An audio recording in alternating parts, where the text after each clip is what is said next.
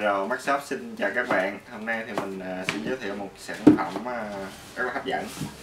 Đó là Android TV Box tích hợp uh, chơi game.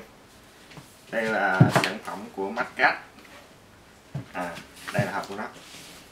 À, Bây giờ mình sẽ mở ra cho các bạn xem nhé.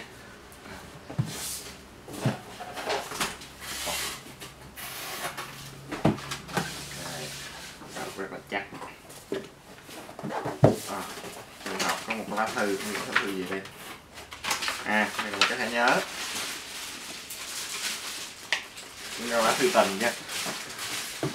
Rồi tiếp theo đây là hộp trong của máy. Cái này thì còn nguyên siêu. Giờ mình sẽ à, cắt siêu nó nhé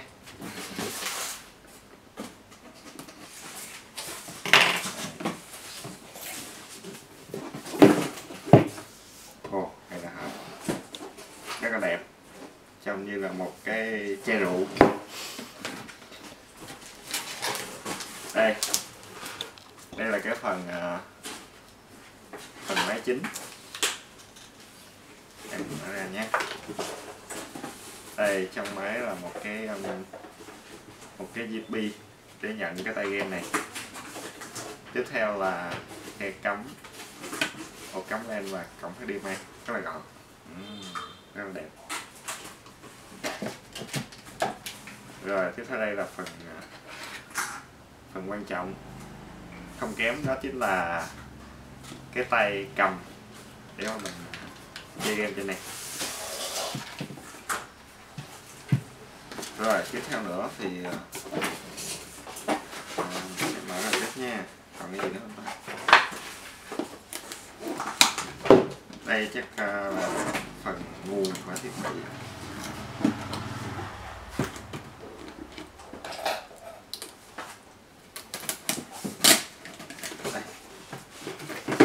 Ở đây thì có cái um,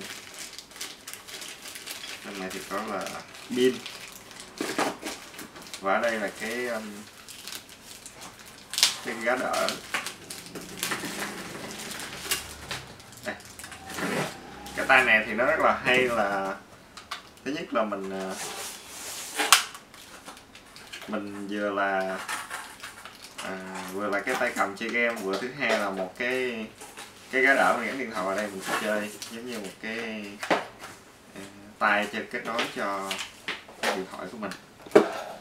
Ờ, các bạn lưu ý là thiết bị này dùng được cho thứ nhất thứ nhất là nó có tính năng là chuột và bàn phím để dùng cho kết nối trên TV box.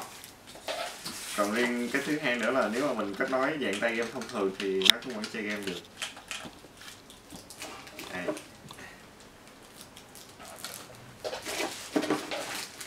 rồi thì ờ, đây. Tổng thể sơ bộ nó là như vậy.